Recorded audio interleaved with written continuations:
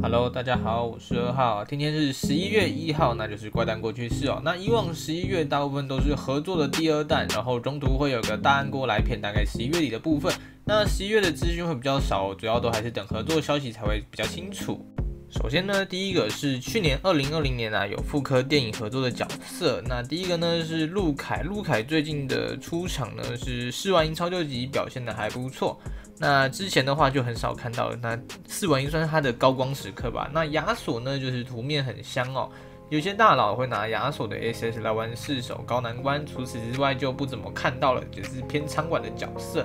那诺潘呢，算是里面最保值的，因为米西之后那时候二十六域初日的时候嘛，诺潘的加速在二十六域是很棒的辅助角色，本身的自强化 SS 在二十六域发挥的很棒哦，算是这三只里面的真大奖。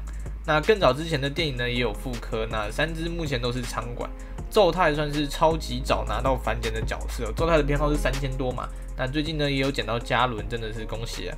另外两只呢，就是普通啊。那会不会复刻电影系列？个人觉得，就算复刻了这两只，以当前的强度，我也强烈不建议抽，除非你是想收藏或者是喜欢这些角色的话再抽。接下来呢是十一月的上方修正哦。那去年这时候有上方修正，主要是修电影角色，因为电影角色已经有点过期了。那修完呢，老实说还是强度不太够，真的。那九月的时候，我那时候也有预估是有上方修正的，官方其实有修正哦，但是它只有上修死神降临跟兽神前的死神转蛋交易，就这样，然后就把九月的扣打用掉一次。我对那次上修算是。小意见啊，因为主要是觉得问题是本家一直都没动到，然后修那些降临啊，他们会绝版啊，代表他们其实有没有休息都没什么差。那希望这次的十一月的修正可以动到本家角色。接下来呢，十一月中啊，大部分都是一些合作或是某某合作的第二弹，因为像是一九年跟二零年都是合作的第二弹哦。那我讲一下猎人，当时以猎人的环境来说，二零一九的环境，猎人第二弹是非常强。那尤其是会长第二弹的大奖，泛用三反反传反专少了人家连击杀手，在二零一九当时的环境已经是很大奖，就是非常强哦。当时的许多暗高难都能去啊，竞技十五啊，二十啊。暴绝啊！S S 的百世观音特效也很够，真的很还原原作。那凯特跟金呢？金是三两二反那个反重反伤嘛。那金有捡到小玉，算是运气还不错。然后凯特呢，我对他的印象啊，就是他有捡到一关游技场。那当时来说，水反传角就是生多多少，所以凯特的表现相对两位其他两位啊，就表现蛮普通的。那放到现在呢，他也是能去竞技二六，但就是能去而已。也不推荐使用啊。那第一弹兽神话呢，整体强度也很高哦。当时有统治木属高能快一年的库拉皮卡嘛，最近萨基尔出的皮卡才比较没那么强。那其他的话呢，只要弄到顶配就是非常强哦。那缺点呢，就是投入的资源要非常高。不然它的平砍是真的没什么，就是会蛮痒的。那小杰呢，就是中规中矩的兽神化。那猎人第二弹合作也破天荒的让蚁王用兽神化的方式复刻给玩家打，让一些没跟到第一弹合作的玩家可以得到蚁王哦。整体来说啊，猎人第二弹在二零一九真的是大家满意度很高的一次，那强度也很高，然后也蛮有特色的，然后蚁王也复刻了嘛，就很有诚意啊。然后到二零二零的部分哦，七大队第二弹这边先说一句啊，干你拉面。这边简单介绍一下拉面梗的由来。官方在当时的几部影片啊，都疯狂暗示拉面哦。然后那时候玩家就在想，是不是火影忍者？玩家之间讨论的很热烈，有各种幻想文章或是很期待的声音都出现了。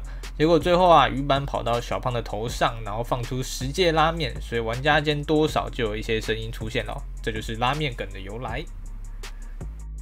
拉回正题，我这边讲七大罪第二弹，目前看下来过了一年，只有傲慢过得还不错，泛用三反反传反专反减，基地很强哦，拿到这两年很常见的反减速币。全属杀手也让他本身的高攻击力在放大，目前就是默默在各处打工哦。闪烁球的部分呢，虽然目击中率低，但只要打中其实蛮爽的。伊丽莎白啊和马林，马林算是比较少看到，强度普普，主要的场呢是十六域，但他在十六域的表现其实也还好。那伊丽莎白的部分呢是做成超强辅助哦，能补血，能降队友的 SS 回合，能加速。那 SS 呢是回血加解一场，顺便解敌人的有效 buff 哦。最近看到伊丽莎白主要是导三暗医生跟每个月的竞技二十五，只能说弹珠的辅助角只要不是做成诱爆类的话，奶妈型的弹珠角老实说能去的场真的有限哦那第二弹出了嘛，所以七大队第一弹也跟着受神。那班跟团长都受的还不错。那班呢是好像从这时候啊就开始默默推歌和的 SS，班的 SS 呢是自强化对最近的敌人使出歌和 SS 哦，二阶是三十五趴。那当时有人用班去打十七域王冠的那个球球哦，只是在其他关算是蛮难使用的，因为是追击最近的敌人，所以要如何靠近正确的目标是一件比较难的事情。那今年呢，近几次的合作就是有出歌和 SS 角嘛。像波普啊，然后拉姆，还有医护，这些都是歌和 AC 哦，还有雨龙，使用的方法难度就降了不少，什么必追王啊，大范围啊，最初敌人啊，只能说班算是出的早，不然米西那时候还不太敢给那么方便的歌和 SS 哦。下一位呢是团长，团长呢泛用三反，扫雷、反船、反砖、反击杀手，反击杀手是还原作。团长的问题啊，就是太普通，就是一般的强啊，但是你们要想哦，七大罪恶前面是谁？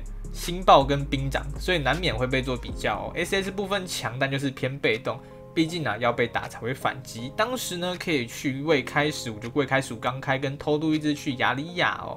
下一位是金第一弹的真大奖，当时金刚出的时候啊，反伤、反砖、飞行、落点杀手，直接把蓬莱戳烂哦。SS 自强化加光滑也是非常好用，但金兽神后，基本上它的强度跟兽神前差不了多少。把反伤升级成超反伤，然后落点杀手移到巨能前也救不了这机体，它放在二零二零就是烂，没进步就是退步的最佳写照。这边跟你们提一下，金的 SS 受伤后是必追一号位敌人落点的追击，但问题是这把灵枪啊不吃指肉加成，所以高难也没什么伤害。那我自己觉得金是很可惜啊，毕竟第一弹最强，我那时候叠蓬莱也大部分都是靠它，结果受伤后变成相对没那么亮，也就是最烂的。那过了一年呢，我们往回看七大罪，七大罪的前面呢是晋级的巨人，然后后面呢是进阶出发者，然后七大罪第二弹的强度呢，老实说相对就没那么强啊，就还好。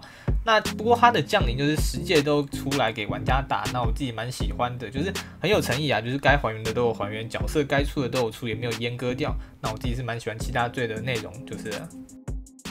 好，那我们回顾完一九年跟二零年的合作了，接下来呢，十一月底米西就会找个理由出一个一般大锅给玩家抽，这个一九年跟二零年都有的。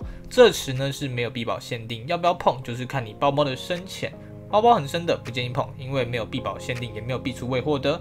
那刚玩或是包包比较浅的，你保足够的话是可以考虑抽一下，但就是考虑就好，毕竟下个月会有个叫大会日的转蛋池，那王家坚戏称叫大嗨日。